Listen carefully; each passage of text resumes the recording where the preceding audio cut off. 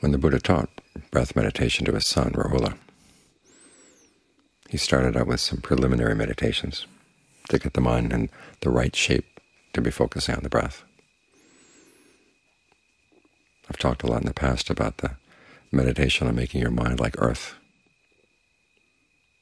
so that you're not shaken by events, not shaken by what's coming up outside or what's coming up inside your mind.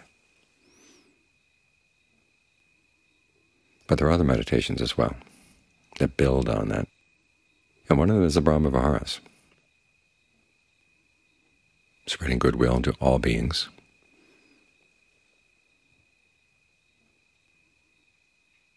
Compassion to all beings, empathetic joy to all beings, equanimity to all.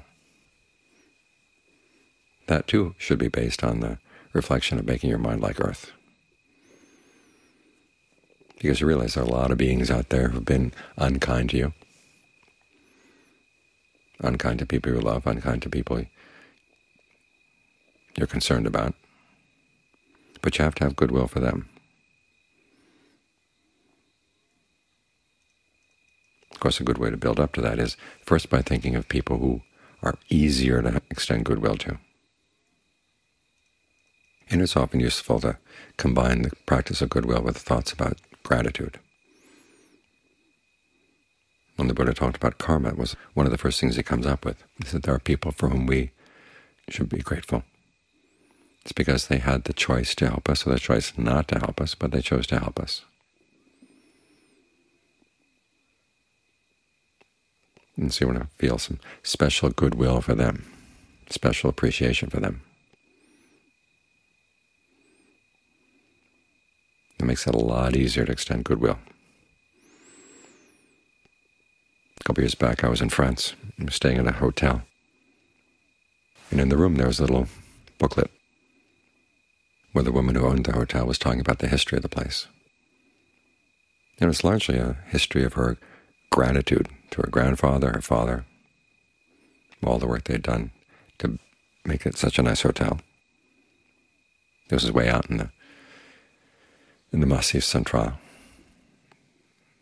Very isolated area, but it was a very nice hotel. And I was reading it, I couldn't help thinking about another account of the history of a hotel that I'd read here in America. It was in Utah. It was a combination restaurant and hotel, and there was a little booklet in the restaurant about the history of the place. And it was all about how the owner and her husband had to fight off all kinds of difficulties.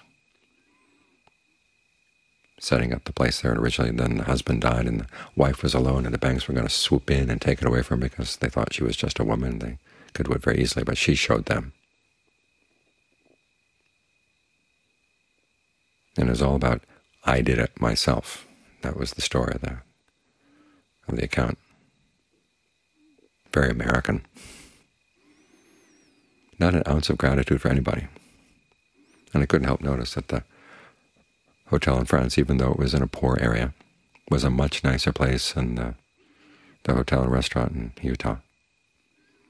And you wonder if it was connected.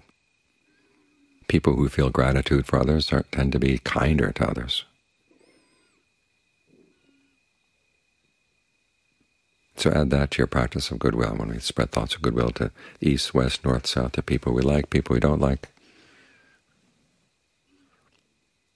Make a special category for the, people you should feel grateful for, and just go down the list. Think of all the people for whom you have a debt of gratitude, thing people who've helped you that had to go out of their way, people in your family, teachers, others who helped you along. They didn't have to do it. But they chose to help. And you have to realize how much you owe to others, in the sense that you're able to speak a human language, live in a human world. Use things that other people have provided. You can think primarily also about the Buddha. He spent all that time establishing the Dharma. After he began awakening, there were all kinds of things he could have done. He had no debts to anybody at that point. But He decided it would be good to spend the rest of his life setting out the religion so that it would last for a long time, for people not only right around him, but for people who would come in later generations in different countries, any place in the world. In fact, there are times when you have a sense that he was more concerned about us than we are concerned about ourselves. We think about doing something, we don't really calculate the long-term consequences, we just go for what we like. And then we find ourselves creating suffering for ourselves. As he said, he saw the world on fire.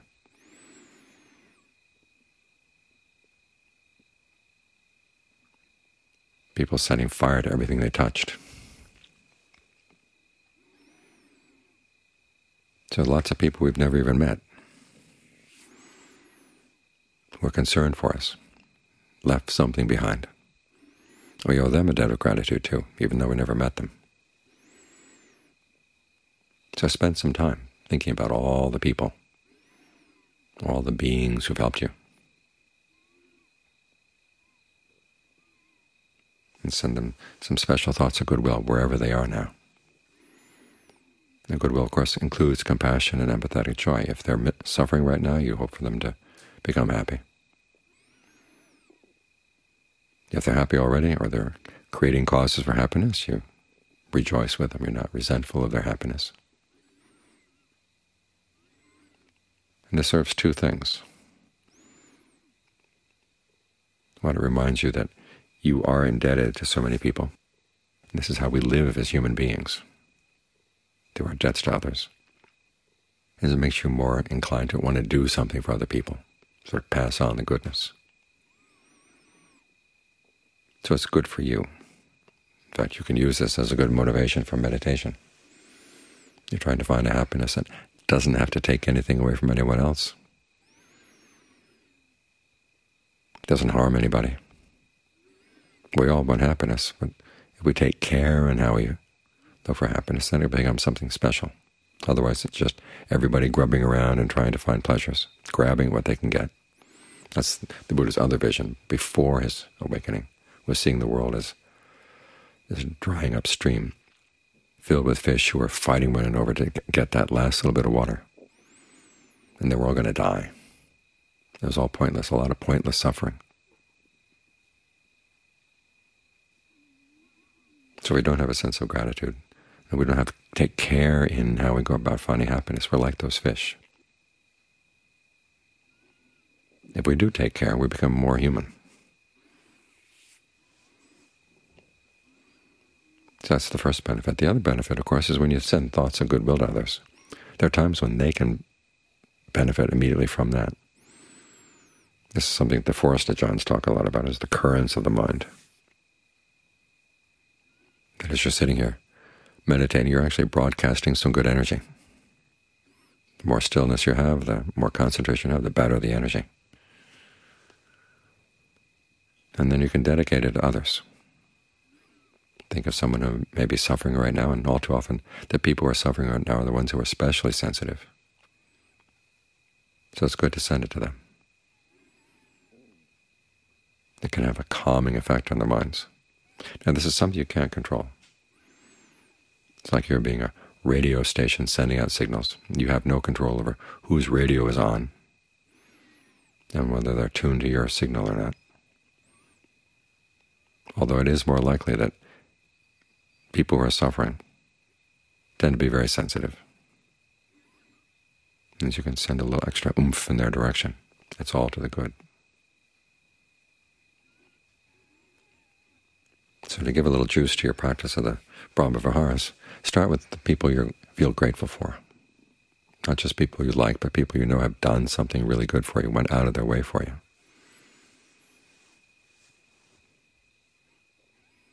when I first went to see Ajaan Fuang, um, was shortly after my mother had died. And that was one of the first instructions he gave to me. When you meditate, spread thoughts of goodwill to your mother. Dedicate the merit to your mother.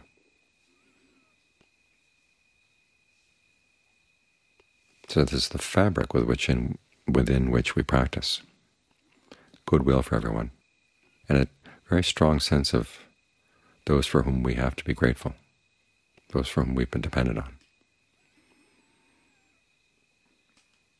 It's not that we're all one, but we are connected through our actions. So you want to make those connections good, and you can choose to make them good, starting with thoughts of goodwill.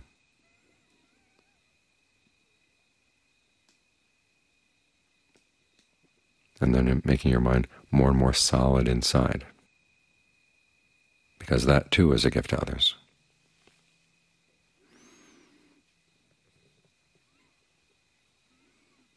And that's one way of thinking. It allows the mind to put aside a lot of its issues with the world outside, its grievances with the world outside, and create a softer landing here in the present moment as you settle down with the breath.